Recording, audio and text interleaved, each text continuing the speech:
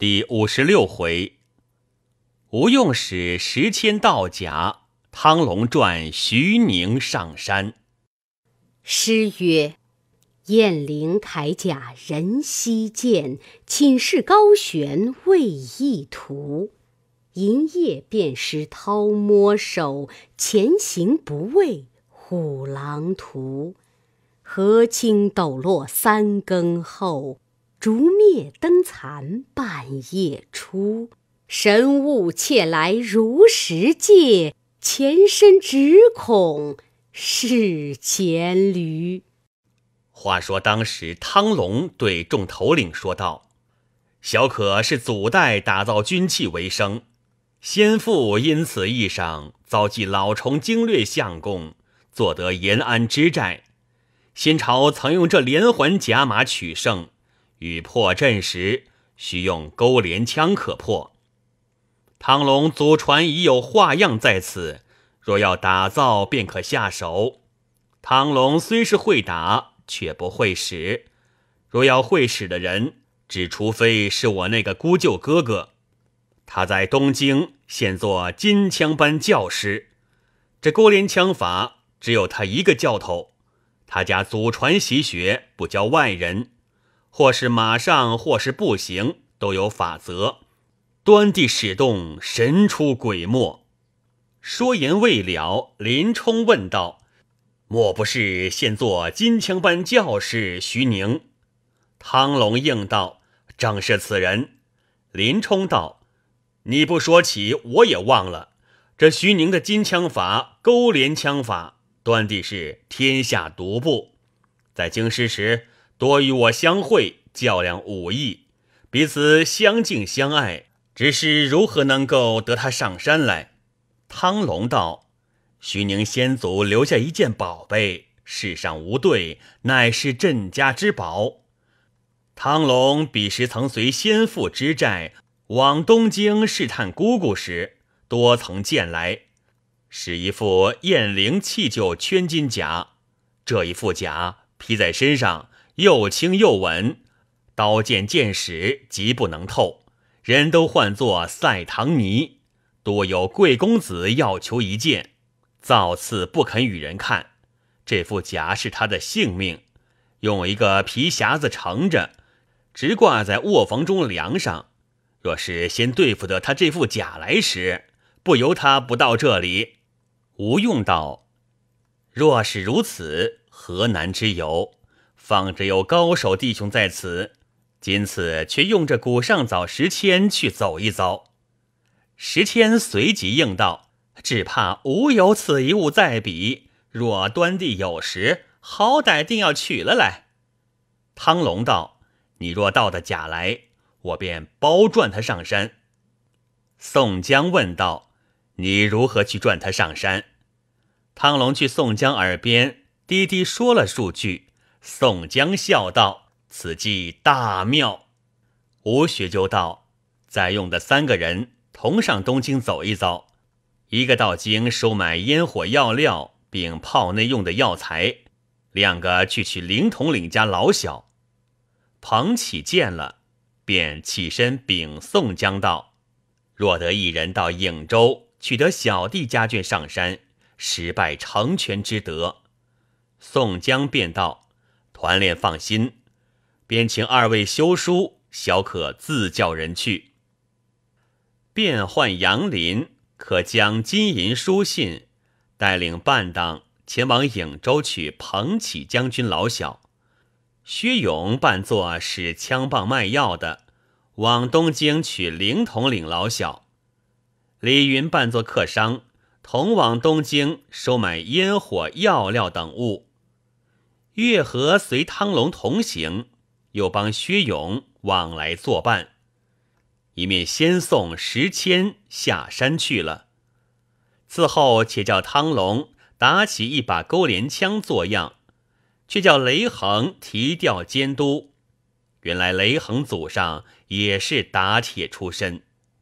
大寨做个送路筵席，当下杨林、薛勇。李云、月和汤龙辞别下山去了。次日又送戴宗下山，往来探听事情。这段话一时难尽。这里且说石迁离了梁山坡，身边藏了暗器，诸般行头，在路以礼来到东京，投个客店安下了。次日学进城来，询问金枪班教士徐宁家，有人指点道：“入的班门里，靠东第五家黑饺子门便是。”石谦转入班门里，先看了前门，次后学来向了后门，见是一带高墙，墙里望见两间小巧楼屋，侧首却是一根呛柱。石谦看了一回，又去街坊问道：“徐教师在家里吗？”人应道：“赶在那里，随之未归。”石谦儿又问道：“啊，不知几时归？”人应道：“直到晚方归来，五更便去那里随班。”石谦叫了相扰，且回客店里来，取了行头藏在身边。吩咐店小二道：“我今夜多赶时不归，照管房中。”小二道：“但放心，自去干事，并不差池。”再说时迁入到城里，买了些晚饭吃了，却学到金枪班徐宁家左右看时，没一个好安身去处。看看天色黑了，时迁趁入班门里面，是夜。寒冬天色，却无月光。石谦看见土地庙后一株大柏树，便把两只腿夹定，一节节扒将上去树头顶，骑马儿坐在枝柯上，悄悄望时，只见徐宁归来，往家里去了。又见班里两个人提着灯笼出来关门，把一把锁锁了。各自归家去了。早听得桥楼禁鼓，却转初更。但见叫运才文三弄，钟声早转初更。云寒星斗无光，路散霜花渐白。六街三市，但闻鹤号啼铃，万户千家。各自关门闭户，对青灯，学子攻经史，秉画烛，佳人上绣床。这时，千剑班里静悄悄的，却从树上溜将下来，学到徐宁后门边，从墙上下来，不费半点气力，扒将过去，看里面时，却是个。小小院子，石谦伏在厨房外张时，见厨房下灯明，两个丫鬟兀自收拾未了，石谦却从呛柱上盘到薄风板边，伏坐一块儿。张那楼上时，见那金枪手徐宁和娘子正对坐炉边向火。怀里抱着一个六七岁孩儿，石谦看那卧房里时，见梁上果然有个大皮匣拴在上面，卧房门口挂着一副弓箭，一口腰刀，衣架上挂着各色衣服。徐宁口里叫道：“梅香，你来与我折了衣服。”下面一个丫鬟上来。就侧手春台上，先折了一领紫绣圆领，又折一领官绿衬里袄子，并下面五色花绣梯串，一个护相彩色锦帕，一条红绿结子，并手帕一包，另用一个小黄帕儿包着一条双塔尾荔枝金带。也放在包袱内，把来安在烘笼上，时迁都看在眼里。约至二更以后，徐宁收拾上床，娘子问道：“明日随旨也不？”徐宁道：“明日正是天子驾幸隆福宫，需用早起五更去伺候。”娘子听了，便吩咐梅香道：“官人明日要起五更出去随班，你们四更起来烧汤，安排点心。”石谦自忖道：“眼见得梁上那个皮匣子，便是成甲在里面。我若趁半夜下手便好。倘若闹僵起来，明日出不得城，却不误了大事。且挨到五更里下手不迟。”听得徐宁夫妻两口上床睡了，两个丫鬟在房门外打铺，房里桌上却点着晚灯。那五个人都睡着了，两个梅香一日服侍到晚，精神困倦，已皆睡了。石谦溜下来，去身边取个炉管，就窗棂眼里只一吹，把那晚灯早吹灭了。看看扶到四更左侧，徐宁觉来，便唤丫鬟。起来烧汤，那两个使女从睡梦里起来，看房里没了灯，叫道：“哎呀，今夜却没了灯。”徐宁道：“你不去后面讨灯，等几时？”那个梅香开楼门，下胡梯响。石谦听得，却从柱上只一溜，来到后门边黑影里伏了。听得丫鬟。正开后门出来，便去开墙门。时迁却潜入厨房里，贴身在厨桌下。梅香讨了灯火入来看时，又去关门，却来灶前烧火。这个女使也起来生炭火，上楼去。多时汤滚，捧面汤上去。徐宁洗漱了，叫烫些热酒上来。丫鬟安排肉食炊饼上去，徐宁吃罢，叫把饭与外面当值的吃。石谦听得徐宁下楼，叫半党吃了饭，背着包袱，拖了金枪出门。两个梅香点着灯送徐宁出去，石谦却从厨桌下出来，便上楼去，从格子边直学到梁上，却把。身躯服了，两个丫鬟又关闭了门户，吹灭了灯火，上楼来脱了衣裳，倒头便睡。石谦听得那两个梅香睡着了，在梁上把那炉管纸灯一吹，那灯又早灭了。石谦却从梁上轻轻解了皮匣，正要下来。徐宁的娘子觉来，听得响，叫梅香道：“梁上什么响？”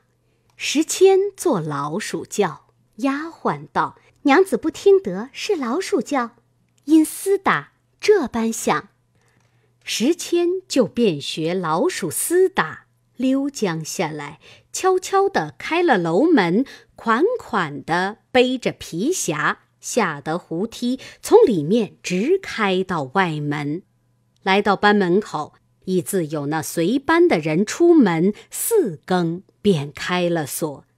时迁得了皮匣，从人队里趁闹出去了，有诗为证。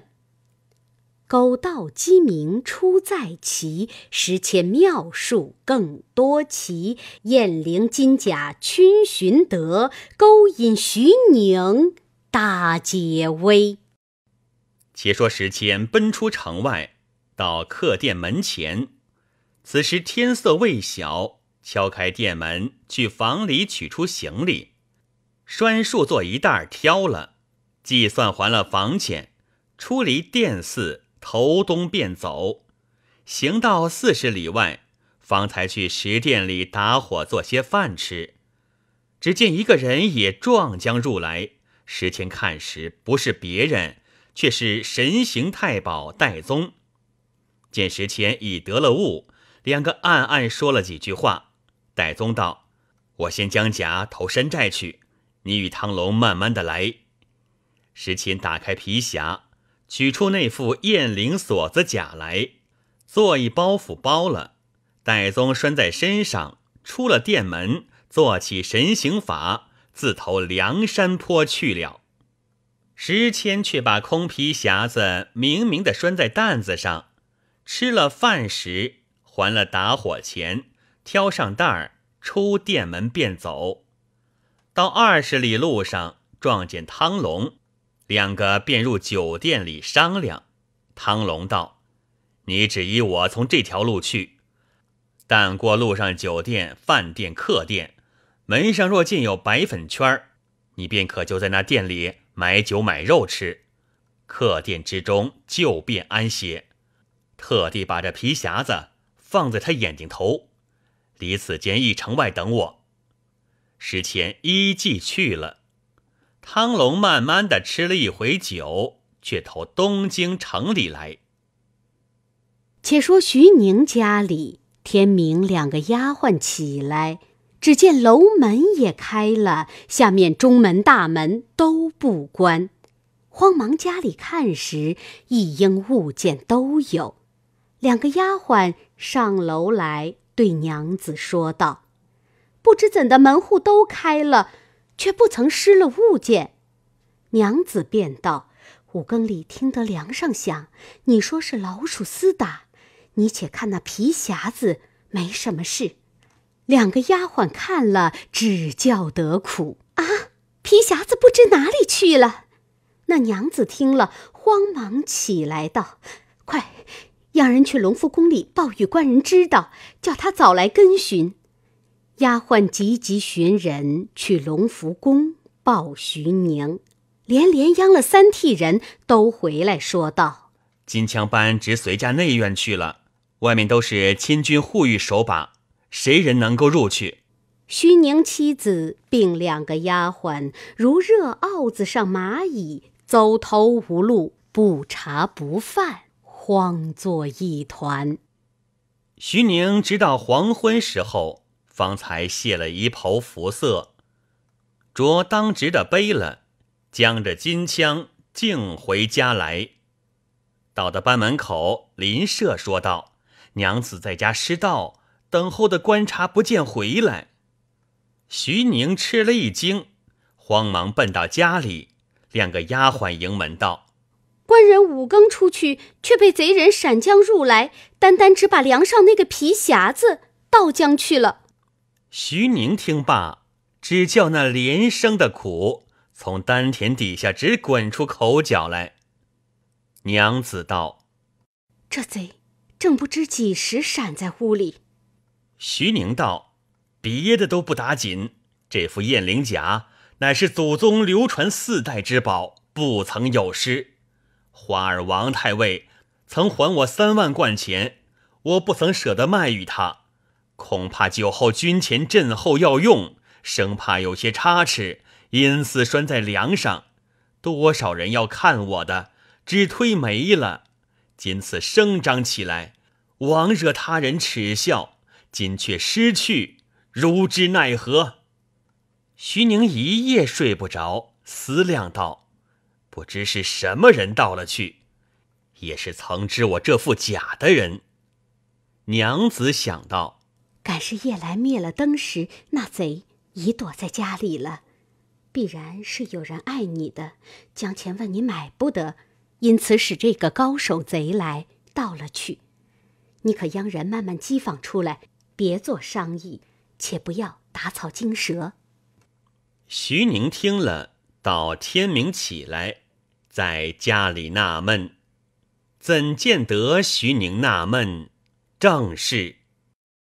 凤落荒坡，尽脱浑身羽翼；龙居浅水，失却汉下明珠。蜀王春恨啼红，宋玉悲秋怨绿。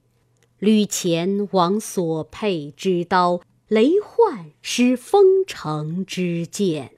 好似蛟龙缺云雨，犹如舟楫少波涛。奇谋勾引来山寨，大战秦王铁马蹄。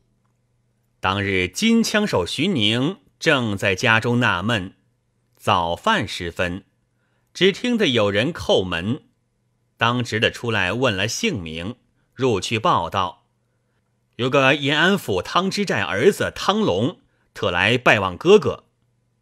徐宁听罢，叫请汤龙进客位里相见。汤龙见了徐宁，那头拜下，说道：“哥哥一向安乐。”徐宁答道：“闻知舅舅归天去了，一者官身羁绊，二乃路途遥远，不能前来调问，并不知兄弟信息一向正在何处。今次自何而来？”汤龙道：“言之不尽。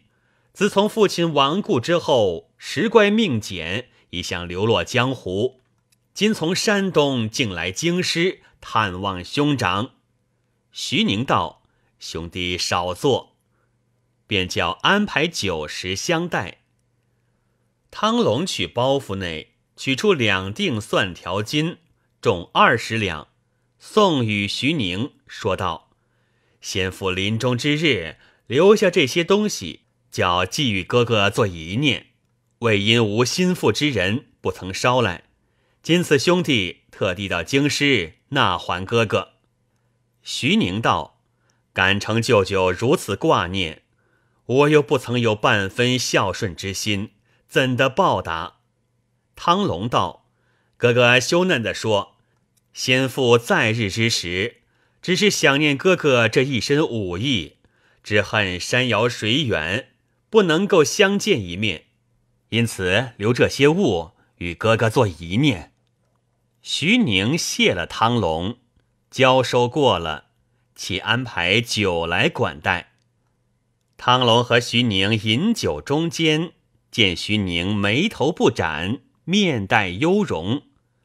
汤龙起身道：“哥哥如何尊严有些不喜，心中必有忧疑不决之事。”徐宁叹口气道：“兄弟不知，一言难尽。”夜来家间被盗，汤龙道：“不知失去了何物。”徐宁道：“单单只盗去了先祖留下那副燕翎锁子甲，又唤作赛唐尼。昨夜失了这件东西，以此心下不乐。”汤龙道：“哥哥那副甲，兄弟也曾见来，端地无比，先父常常称赞不尽。”却是放在何处来被盗了去？徐宁道：“我把一个皮匣子盛着，拴附在卧房中梁上，正不知贼人什么时候入来盗了去。”汤龙问道：“却是甚等样皮匣子盛着？”徐宁道：“我是个红羊皮匣子盛着，里面又用香棉裹住。”汤龙假意失惊道：“红羊皮匣子。”不是上面有白线刺着绿云头如意，中间有狮子滚绣球的。徐宁道：“兄弟，你哪里见来？”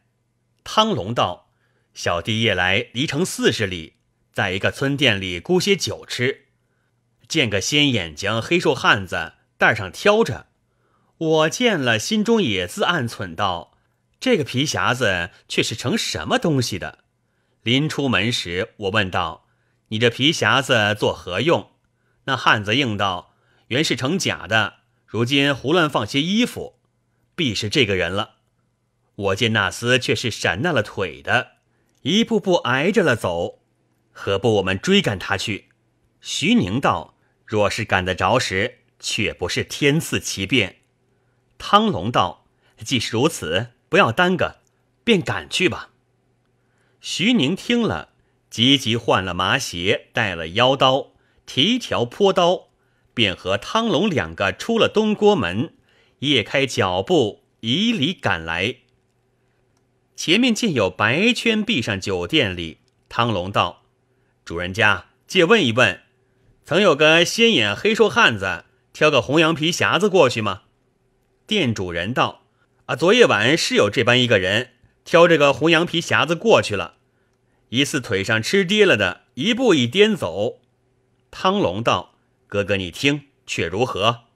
徐宁听了，作声不得，有诗为证：汤龙诡计转徐宁，便把黄金表至情。又引同归忠义寨，共施威武破雄兵。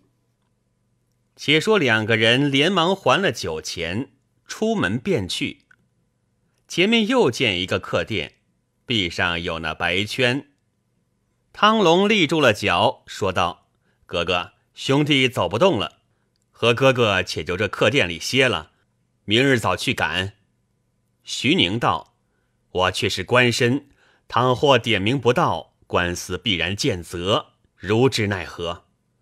汤龙道：“这个不用兄长忧心，嫂嫂必自推个事故。”当晚又在客店里问时，店小二答道：“昨夜有一个心眼黑瘦汉子，在我店里歇了一夜，直睡到今日小日中方才去了，口里只问山东路程。”汤龙道：“嫩的可以赶了，明日起个四更，定是赶着，拿住那厮，便有下落。”当夜两个歇了，次日起个四更，离了客店。两个又以礼赶来，汤龙但见壁上有白粉圈儿，便做买酒买食，吃了问路，处处皆说的一般。徐宁心中急切要那副甲，只顾跟随着汤龙赶了去。看看天色又晚了，望见前面一座古庙，庙前树下石签放着袋儿，在那里坐地。汤龙看了，叫道。好了，前面树下那个不是哥哥程甲的匣子。徐宁见了，抢上前来，一把揪住石谦，喝道：“你这厮好大胆，如何盗了我这副甲来？”石谦道：“啊，住住，不要叫！是我盗了你这副甲来，你如今却是要怎的？”徐宁喝道：“畜生无礼，倒问我要怎的？”石谦道：“你且看匣子里。”有甲也无，汤龙便把匣子打开看时，里面却是空的。徐宁道：“你这厮把我这副甲哪里去了？”石谦道：“你听我说，小人姓张，排行第一，泰安州人士。本州有个财主要结识老崇经略相公，知道你家有这副雁翎锁子甲，不肯货卖，特地使我。”同一个李三两人来你家偷盗，许俺们一万贯，不想我在你家柱子上跌下来，闪那了腿，因此走不动。先叫李三把甲拿了去，只留的空匣在此。你若要奈何我时，我到官司只是拼着命，就打死我也不招。休想我指出别人来。若还肯饶我官司时，我和你去讨这副甲还你。不知尊意如何？徐宁踌躇了半晌，决断不下。汤龙便道：“哥哥不怕他飞了去，只和他去讨假。若无假时，须由本处官司告理。”徐宁道：“兄弟说的也是。”三个厮赶着又投客店里来歇了。徐宁、汤龙兼住时迁一处宿歇。原来石谦故把些绢帛扎缚了腿，只做闪纳了脚。徐宁见他又走不动，因此十分钟只有五分防他。三个又歇了一夜，次日早起来再行。石谦一路买酒买肉陪告，又行了一日。次日，徐宁在路上心焦起来，不知毕竟有假也无。有诗为证：“宝铠悬梁夜已偷，满江空峡作缘由。徐宁不解牢笼计，相趁相随到水头。”三人正走之间，只见路旁边三四个头口拽出一辆空车子，背后一个人驾车，旁边一个客人看着汤龙那头便拜。汤龙问道：“兄弟因何到此？”那人答道：“郑州做了买卖，要回泰安州去。”汤龙道：“最好，我三个要搭车子，也要到泰安州去走一走。”那人道：“莫说三个搭车，再多些也不计较。”汤龙大喜，叫与徐宁相见。徐宁问道：“此人是谁？”汤龙答道：“我去年在泰安州烧香结识的这个兄弟，姓李，名荣，是个有义气的人。”徐宁道：“既然如此，这张一又走不动，都上车子坐地，只叫车客驾车了行。”四个人坐在车子上，徐宁问石谦道：“你且说与我那个财主姓名。”石谦吃逼不过。三回五次推脱，只得胡乱说道：“他是个有名的郭大官人。”李荣答道：“我那本州郭大官人是个上户财主，专好结识官宦来往，门下养着多少闲人。”徐宁听罢，心中想到：“既有做主，必不碍事。”又见李荣一路上说些枪棒，唱几个曲儿。不觉得又过了一日，话休续繁，看看到梁山坡只有两成多路。只见李荣叫车客把葫芦去沽些酒来，买些肉来，就车子上吃三杯。李荣把出一个瓢来，先倾一瓢来劝徐宁，徐宁一饮而尽。李荣再叫清酒，车客假作手托。把这一葫芦酒都倾翻在车下，李荣喝骂车客再去姑些。只见徐宁口角流涎，扑的倒在车子上了。李荣是谁？却是铁轿子月和。三个从车上跳江下来，赶着车子，直送到汉地忽律朱贵酒店里。众人就把徐宁扛扶下船。都到金沙滩上岸，宋江已有人报知，和众头领下山接着。徐宁此时麻药已醒，众人又用解药解了。徐宁开眼见了众人，吃了一惊，便问汤龙道：“兄弟，你如何转我来到这里？”汤龙道：“哥哥听我说，小弟今次闻知宋公明。”召接四方豪杰，因此上在武冈镇拜黑旋风李逵做哥哥，投托大寨入伙。今被呼延灼用连环甲马冲阵，无计可破。是小弟献此勾连枪法，只除是哥哥会使，因此定这条计。使时迁先来盗了你的甲，去叫小弟转哥哥上路，后使月和假作李荣。过山时下了蒙汗药，请哥哥上山来做把交椅。徐宁道：“都是兄弟送了我也。”宋江执杯向前陪告道：“现今宋江暂居水泊，专待朝廷招安，尽忠竭力报国，非敢贪财好杀，行不仁不义之事。万望观察怜此真情。”一同替天行道。林冲也来把盏陪话道：“小弟亦在此间，多说兄长轻德，休要推却。”徐宁道：“唐龙兄弟，你去转我到此，家中妻子必被官司擒捉，如之奈何？”宋江道：“这个不妨，观察放心，只在小可身上。”早晚便取宝卷到此玩具，有诗为证：勾连枪法古今稀，解破连环铁马蹄。不是徐宁施妙手，梁山怎得解重围？晁盖、吴用、公孙胜都来与徐宁陪话，安排筵席作庆。一面选拣精壮小喽啰学使勾连枪法，一面是戴宗和汤龙星夜往东京搬取徐宁老小。话休繁叙，旬日之间，杨林自颍州取到彭起老小，徐勇自东京取到灵镇老小，李云收买到五车烟火药料回寨。更过数日，戴宗汤龙取到徐宁老小上山。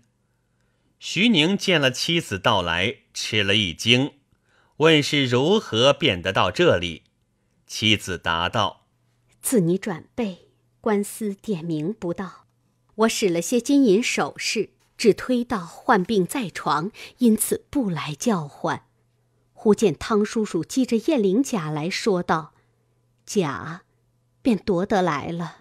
哥哥只是余路染病，将次死在客店里，叫嫂嫂和孩儿便来看视，把我拽上车子。我又不知路径，以礼来到这里。徐宁道：“兄弟，好却好了，只可惜将我这副甲献在家里了。”汤龙笑道：“我叫哥哥欢喜，打发嫂嫂上车之后。”我便复翻身去转了这甲，诱了这两个丫鬟，收拾了家中应有细软，做一袋挑在这里。徐宁道：“嫩的时，我们不能够回东京去了。”汤龙道：“我又叫哥哥再知一件事来，在半路上撞见一伙客人，我把哥哥的燕翎甲穿了，擦化了脸，说哥哥名姓，劫了那伙客人的财物。”这早晚，东京已自变形文书捉拿哥哥。徐宁道：“兄弟，你也害得我不浅。”晁盖、宋江都来陪话道：“若不是如此，观察如何肯在这里住？”随即拨定房屋，与徐宁安顿老小。众头领且商议破连环马军之法。此时雷横、监造、勾连枪都已完备，宋江、吴用等齐请徐宁教众军舰学使勾连枪法。